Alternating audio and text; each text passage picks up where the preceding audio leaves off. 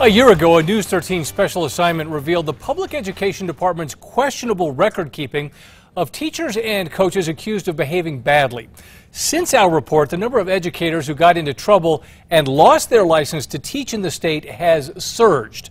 News 13's Lysée Mitri explains tell me that I've been selling drugs. I've been at home. Former Farmington teacher Anna Schroth isn't allowed to teach at any New Mexico public schools now after several run-ins with police in 2016. Well, we got to get you in this car, okay? Do not take me to jail. They put her in cuffs after they say she hit her ex-husband with a metal baseball bat.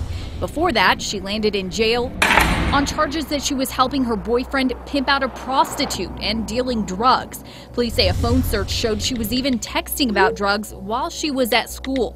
Schroth got five years of probation after pleading guilty to charges including aggravated battery with a deadly weapon, promoting prostitution, and conspiracy to traffic drugs. The New Mexico Public Education Department says it took away her license to teach in the state last year. In fact, 2018 saw a surge in teachers and coaches who got in trouble and got their educators' licenses revoked. When a News 13 investigation first began digging into this issue a year ago, we found the Education Department revoked just five licenses in 2016 and 2017 combined. We followed up since then to learn that number jumped to 29 last year, according to records the department gave us. I think it's actually a good sign. We have a different way of collecting information now. So uh, the collection of data has greatly improved. New Education Deputy Secretary Gwen Perea Warniment talked to us about the changes that started started under former Secretary Christopher Ruszkowski with the last administration. Yes, definitely. There was a shift.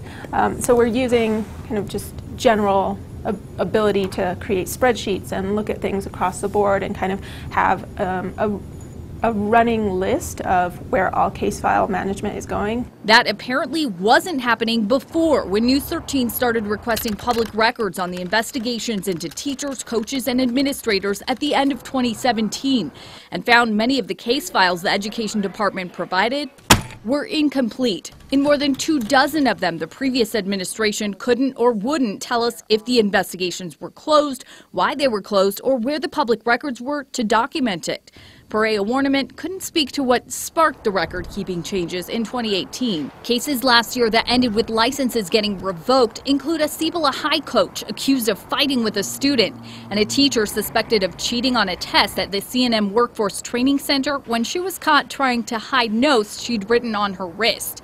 Most, though, involved teachers and coaches accused of crimes, like former Las Cruces middle school teacher Michelle Ramsey, who pled guilty to embezzlement and agreed to pay back more than $20,000 that investigators say she took while acting as treasurer of the Mayfield High School Band Parents Association.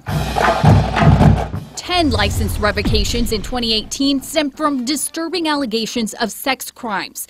The list includes former assistant track coach with Clovis Christian Schools, Garrett Scott Fly. Court records show he's on probation after pleading no contest to sending nude photos to a 14-year-old student. Then there's former fourth grade Matheson Park Elementary School teacher in Albuquerque, Scott Weaver, indicted for inappropriately touching a 16-year-old in a Belen gym locker room. The gym owner told us last year she confronted Weaver. I went back there. I told him that he needed to stay there and. Education Department records show Weaver is among more than two dozen others who won't be teaching at New Mexico public schools anymore. On special assignment, Lysée Mitri, KRQE News 13. The new administration says it is looking into upgrading the technology it uses to keep track of licensure investigations. They say they also want to make it easier for parents and community members to file complaints when they have concerns about educators.